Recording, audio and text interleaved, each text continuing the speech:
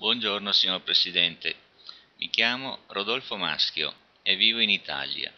Ti ho inviato un'email il 24 gennaio 2012 con allegato un documento che spiega come sia possibile risolvere l'attuale crisi economica mondiale e come eliminare i problemi che riguardano disoccupazione, guerre, fame, violenze, malattie.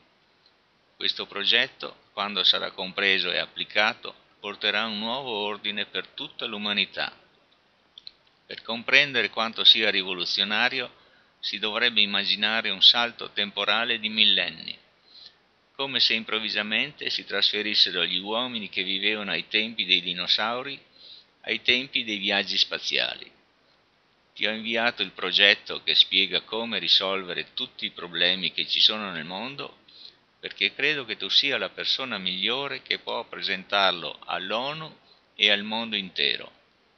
Ho visto che ricevi molte email e capisco che ci vuole moltissimo tempo per leggerle tutte.